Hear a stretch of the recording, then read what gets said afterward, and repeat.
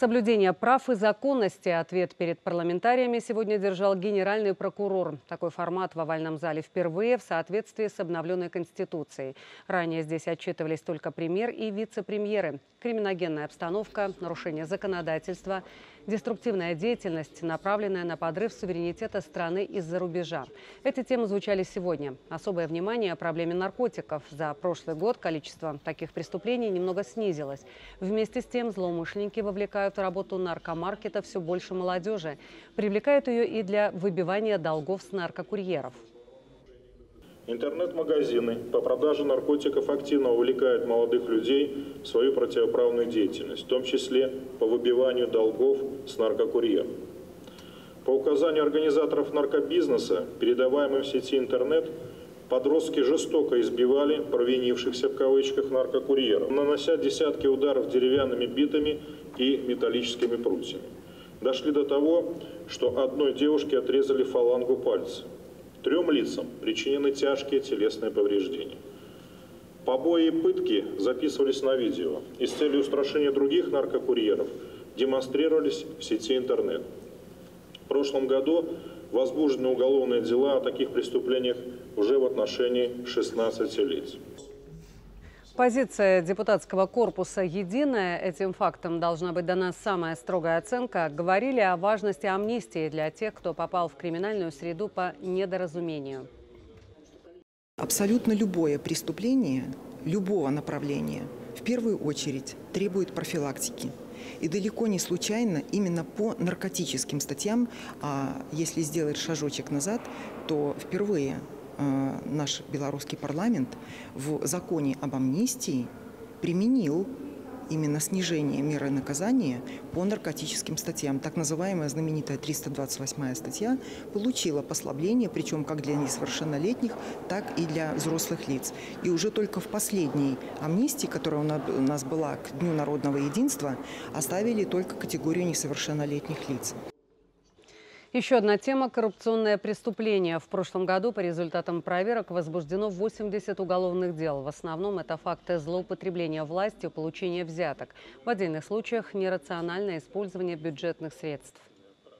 В прошлом году количество учтенных коррупционных преступлений осталось на прежнем уровне. К уголовной ответственности привлечено больше должностных лиц, если быть точно 819.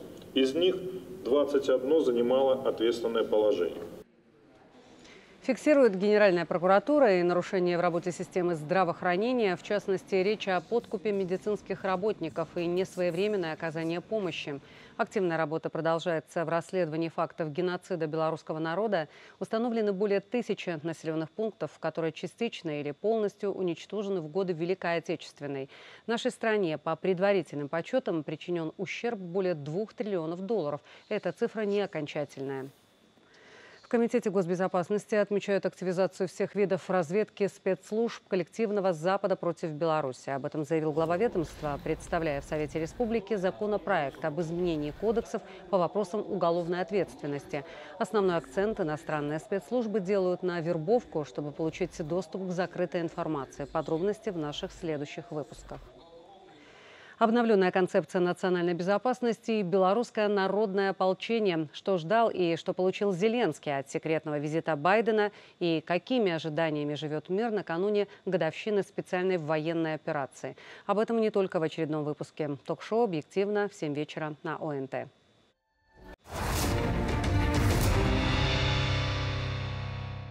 Партнер номер один Москва. За прошлый год удалось нарастить объем поставок в Россию, но резервы еще есть. Задача – максимальная вовлеченность, федеральные и региональные программы. Расширение промышленной кооперации создание совместных производств, реализация союзных договоренностей.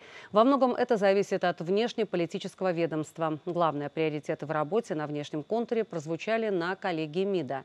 Развитие взаимоуважительных отношений – единственный способ урегулирования противоречий с Западом. Дипломаты не оставляют попыток донести до политических кругов недружественных стран принципиальные позиции Минска, в том числе о контрпродуктивности санкций и ограничений. Там, где это отмечает белорусским интересом, мы сохраняем критический диалог, однако оппоненты пока глухи к любым аргументам. На международных площадках ООН и ОБСЕ западные страны и дальше пытаются протащить откровенно антибелорусские инициативы. По оценкам МИДа, этот год будет не менее напряженным, давление продолжится. Впрочем, Минск и впредь будет противостоять вызовам, исходя из приоритетов сохранения суверенитета и безопасности белорусского государства, укрепления экономики страны и благосостояния людей. Нужно не только выстоять, но и прибавить по экспорту товаров и услуг 5,5%. Продолжит Беларусь позиционировать и безальтернативность мирных переговоров в регулировании конфликтов как в регионе, так и на глобальном уровне. Проверка боеготовности и работа пунктов управления вне мест постоянной дислокации в погранвойсках, плановое учение. В соответствии с задачами создана обстановка, позволяющая максимально отработать слаженность действия, а также навыки оперативного управления в самых разных ситуациях. В лагере отрабатывают усиление охраны госграницы. По замыслу учения обнаруживают и ликвидируют вооруженное формирование. Ведут борьбу с диверсионными группами. Обучение продлится до конца следующей недели. Впечатляющий подарок ко Дню защитников Отечества и Вооруженных сил Беларуси Дворец независимости вновь принимает гостей. Символ белорусской государственности посетили преподаватели и слушатели факультета Генерального штаба военной академии. Многие пришли с семьями, гостей встретили на самой большой церемониальной площадке страны – в зале торжественных церемоний.